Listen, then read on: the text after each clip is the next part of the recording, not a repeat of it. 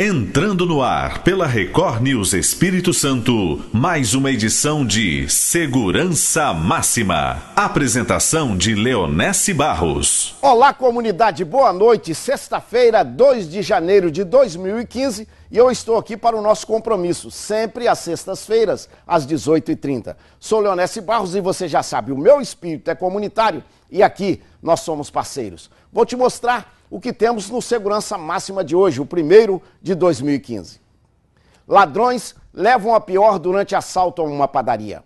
Ocupação social das áreas violentas. Como será essa ocupação? Será que vai resolver o problema? O vice-governador César Colnago vai falar sobre o assunto. Paulo César Gomes também participa dessa conversa. Você vai ver tudo isso agora. Fiquem seguros, porque o Segurança Máxima está no ar.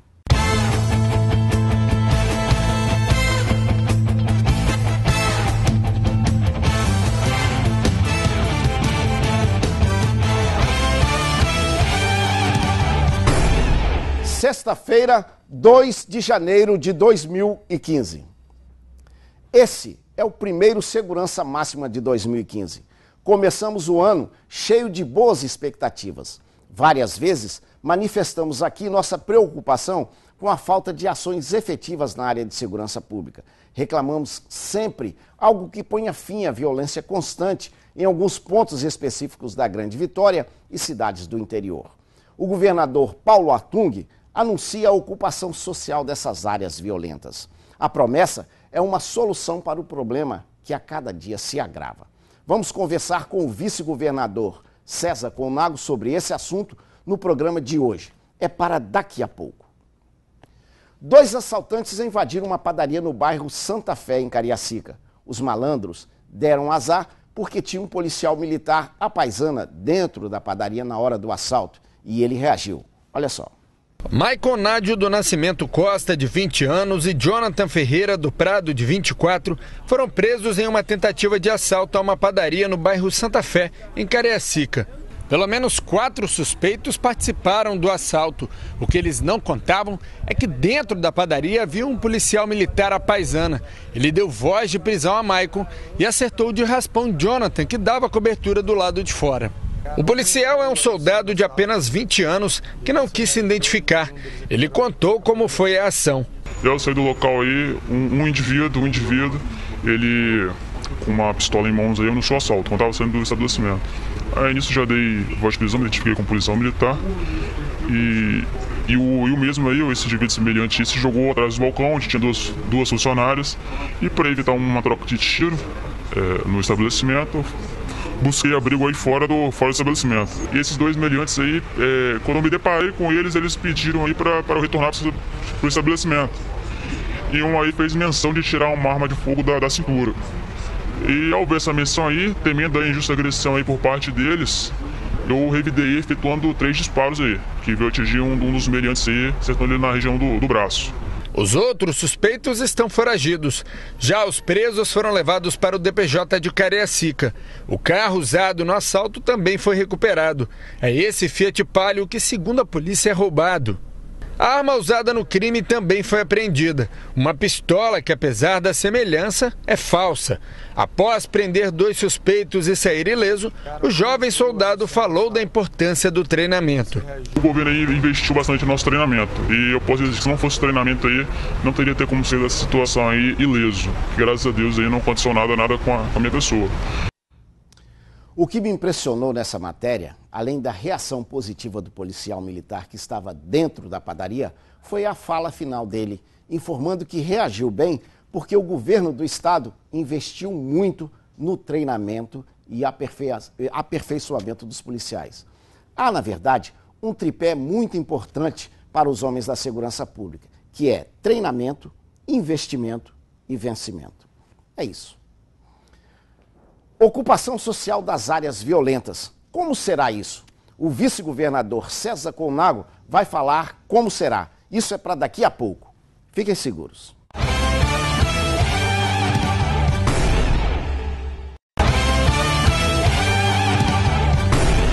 De volta com segurança máxima, muito obrigado pela sua audiência, Deise Gomes. que se liga no Segurança Máxima no bairro Vila Rica, em Cachoeira de Itapimirim. Deise, muito obrigado pela sua audiência. Comunidade, sempre manifestamos aqui no Segurança Máxima especial preocupação com a falta de ações efetivas das polícias, em particular, agindo em áreas de constante violência nos municípios da Grande Vitória e em alguns municípios do interior do estado. Estou pensando que essa nossa preocupação será amenizada. O governador Paulo Artung é, assume o governo anunciando que as áreas de constante violência serão alvos de ocupação social. Aí, o que nós queremos saber, como serão essas ocupações sociais das áreas de violência? Será que elas serão a solução para o problema? Tentei trazer o secretário André Garcia, que continua na Secretaria de Segurança, mas a assessoria de imprensa ou de comunicação disse que foi impossível a vinda dele. Foi então que eu fiz contato com o vice-governador César Polnago, que será o responsável pela integração social no governo do estado, e ele aceitou vir ao Segurança Máxima falar sobre esse assunto. Vice-governador, boa noite. Muito obrigado pela sua vinda ao Segurança Máxima. Obrigado, você, Ernesto, pelo convite. É um prazer estar aqui falando já com a comunidade, né? Eu estou sabendo que essa é a sua primeira entrevista no cargo de é, vice-governador. É a primeira entrevista é, no veículo, né? Lógico que lá no Palácio, ontem e hoje, já falamos com ah. todos os veículos, mas vindo a um veículo é um prazer e esse é um hábito que eu gosto de ter, de estar aqui junto, porque aqui é o momento também da gente fazer uma coisa fundamental na área pública, que é conversar com a população, é, e, evidentemente, ouvir também da população essa interação é, para que a gente possa estar cada vez mais aproximando o Estado de sociedade. Né? Os governos são passageiros. O Estado ele é fundamental para o estabelecimento de políticas, independente de qual governo esteja naquele momento. E a sociedade tem que ser, na verdade, o grande comandante. Né? O governador hoje falou que, o, a, na etimologia da palavra servidor, é servir aos deuses e os deuses é o cidadão. É, é, o, é o, cidadão, é o povo, é a nossa população, né? Vice-governador, a gente sempre tem manifestado aqui essa preocupação de algumas áreas, alguns pontos específicos serem constantes palcos de violência, meses após meses, semanas após semanas. Aí já houve o Estado presente, que me parece que ficou claro que não resolveu o problema. Mas agora vocês anunciam com muita propriedade a ocupação social dessas áreas de violência.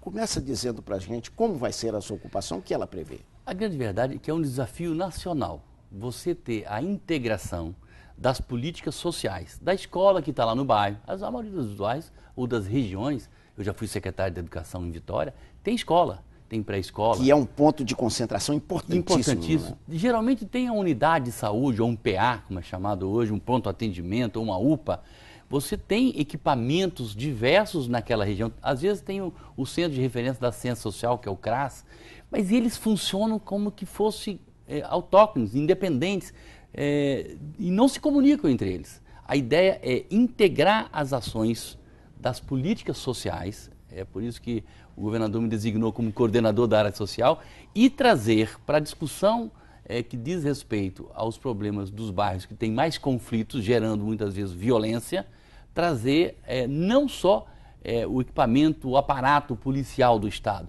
mas principalmente políticas sociais é, e de forma ampla. Além da saúde, da educação, o esporte. A escola tem que se interagir mais com o esporte. Por que, que não ocupamos as escolas no final de semana? Experiência que nós já temos algumas aqui no Estado, mas como é que torna disso, torna isso uma prática desses territórios chamados territórios mais violentos. Até usando a escola como área de, de permanência diária e durante todo o dia dos alunos, né? Dos alunos, para eles... exercício da atividade física, de, sabe, de, de lutas, é, de, de vários tipos de modalidades de esportes individuais ou coletivos, da cultura, da música, do teatro, da expressão de, uma, de, de um saber que é o saber da arte. Por que, que nós não pegamos a arte para amenizar esses conflitos? E principalmente também políticas de formação né, no campo do trabalho, da capacitação dos jovens. Ou seja, é ofertar aquilo que está na Constituição, os direitos individuais e coletivos, para que aquela sociedade não se sinta excluída, não seja excluída. É, evidentemente que isso não é uma tarefa fácil, não é? Não é fácil, mas é um desafio que nós vamos ter que enfrentar. E aí, por que o nome ocupação social? Sim. Porque muitas vezes, por ausência da figura de políticas públicas do Estado, aí o Estado interpretado como é, política municipal do Estado ou federal, é, o território foi ocupado muitas vezes pelo para-estado, pelo tráfico. Sim. Como é que reverte isso? Isso não reverte com bravata e nem só com polícia. É, a gente, na verdade, põe uma carga muito pesada sobre a Polícia Militar e, costumeiramente, a gente tem visto os, comandantes dizendo outros atores precisam entrar nesse cenário, porque não nos cabe só a Polícia Militar. Então, a ideia, nós vamos materializar o programa, vamos escrever, vamos visitar algumas experiências. Eu estava agora conversando com uma pessoa que é de Alagoas, que mora no Rio, mas que conhece bem a experiência de Pernambuco.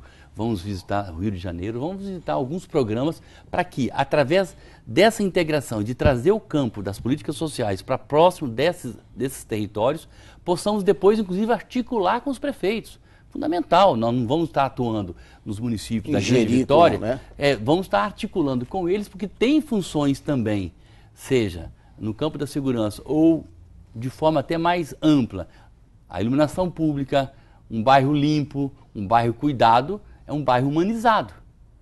É, por exemplo, um parque municipal, isso eu conversando com o governador Alckmin recentemente, ele falava, olha, é, a, o município de São Paulo nos últimos anos receberam mais de 100 parques de iniciativas, seja do município de São Paulo, na gestão anterior, até porque o, o, o, o prefeito que lá está só tem um ano e pouco, e essas ações são ações que demandam um certo tempo, é, isso ameniza muito. Se a juventude tiver uma escola que se atrai, aí tem a escola viva.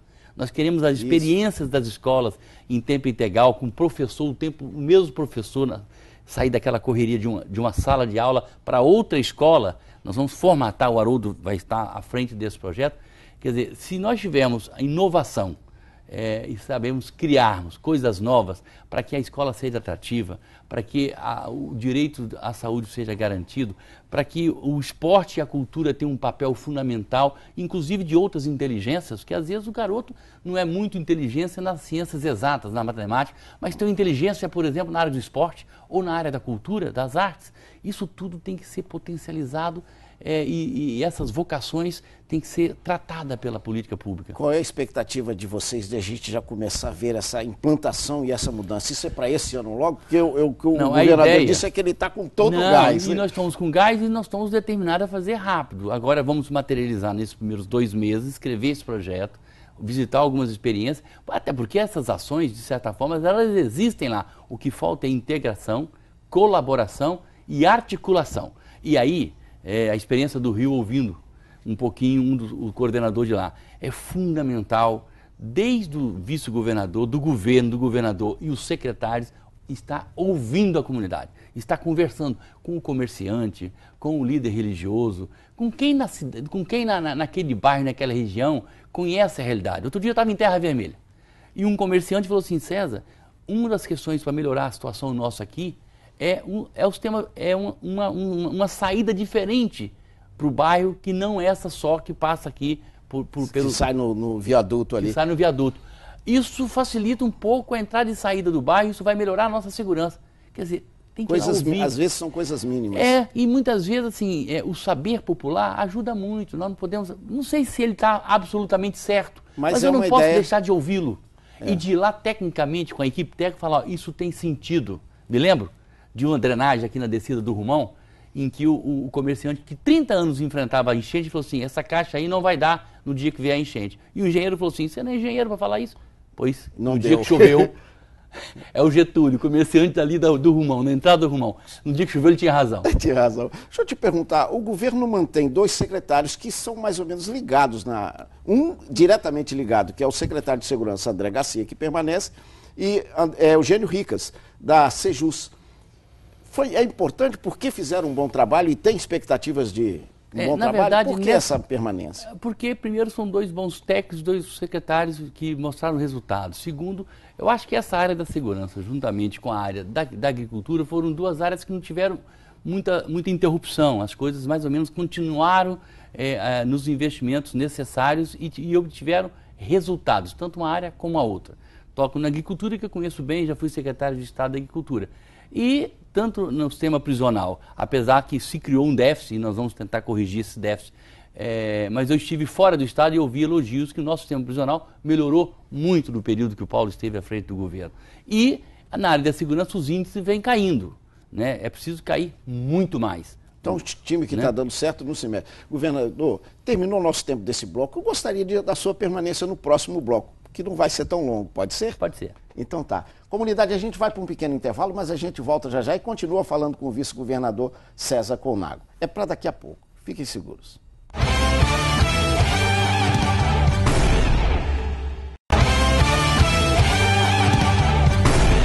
De volta com Segurança Máxima, muito obrigado pela sua audiência. Neide de Oliveira, que se liga no Segurança Máxima no bairro Santa Inês, em Vila Velha. Neide, muito obrigado. Continua no estúdio de Segurança Máxima o vice-governador César Colnago. Ele veio no, no, bloco anterior, nós falamos sobre ocupação social das áreas de violência aqui no estado, né, na Grande Vitória, enfim, nos municípios do estado.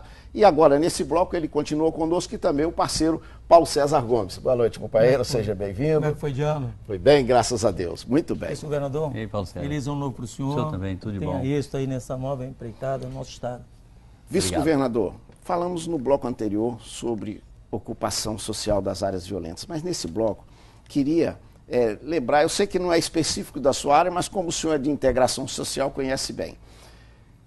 Conversamos aqui há um tempo atrás com um especialista e ele dizendo: olha, às vezes os governos ficam preocupados demais com a polícia de prevenção e investem é, até exageradamente nessa polícia e a polícia de repressão, que no caso a Polícia Civil, vai ficando capenga.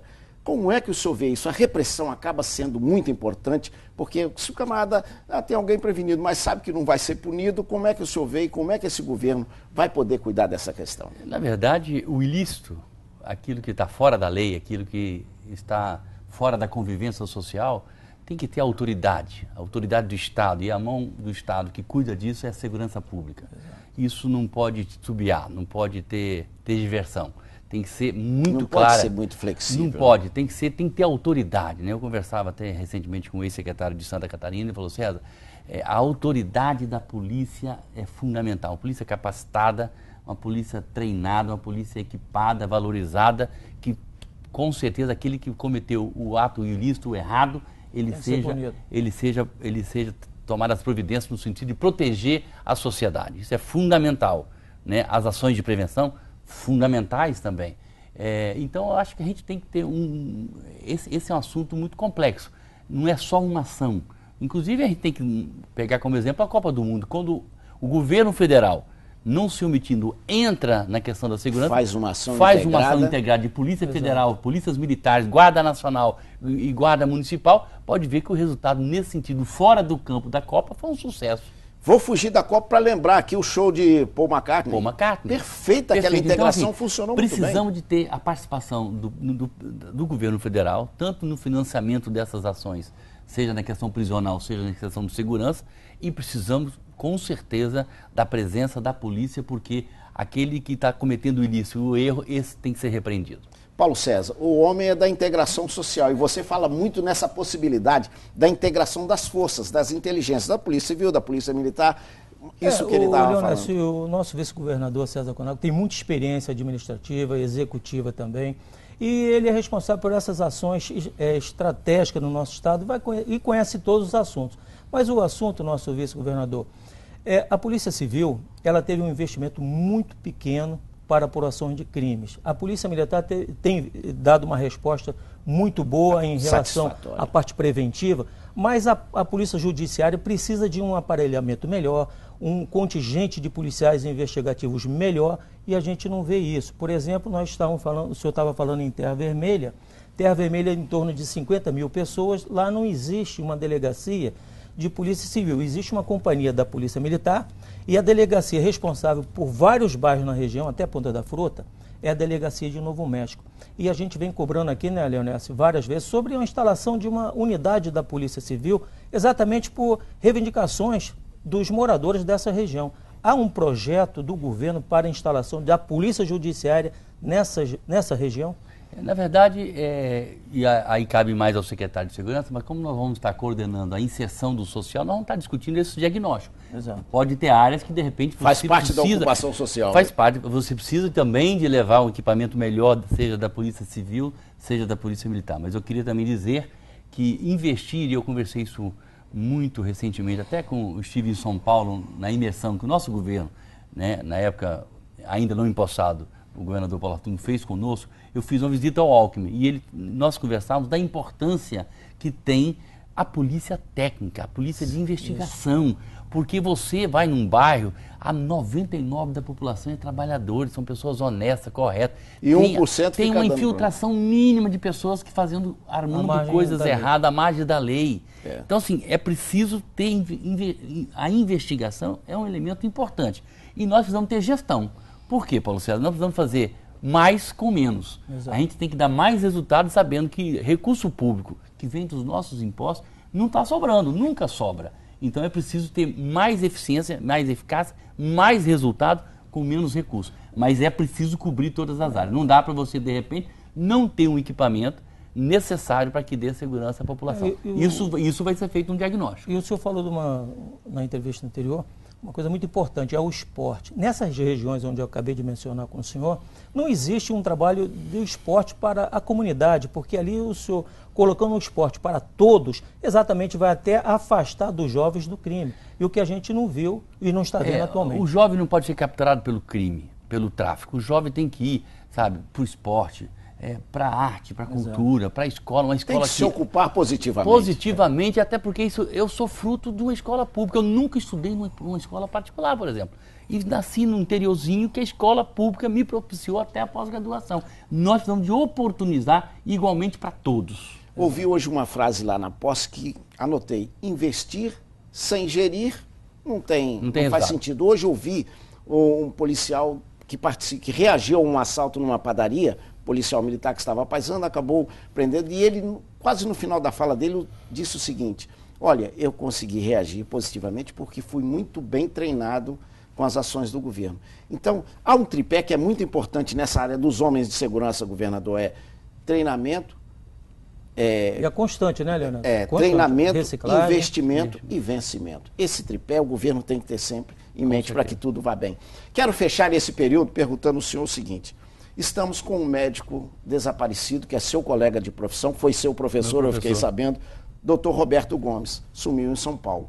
Hoje já se fala, inclusive, em trazer essa investigação aqui para o Espírito Santo, com uma delegacia que é muito bem dotada, que é a DAS, mas eu sei que o senhor foi um dos vetores importantes autores importantes nessa ação, lá gerindo junto ao governo do estado de São Paulo, mas continua sumindo o nosso é, cidadão, sumido. Leonel, eu não estou com muitas informações recentes, eu tive falando com o secretário de Segurança aqui do estado, o secretário de São Paulo, depois na visita que fiz ao governador, tocamos nesse assunto, ele ligou para o secretário e ele colocou todo o efetivo, da, da, eles têm uma delegacia uhum. que cuida desses desaparecimentos, né?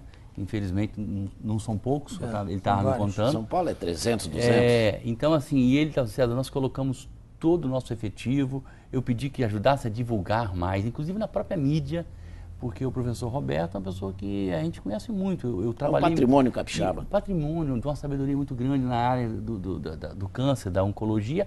E eu trabalhei muito tempo no Santa Rita, né? Eu já fui médico, depois de formado, trabalhei no Santa Rita.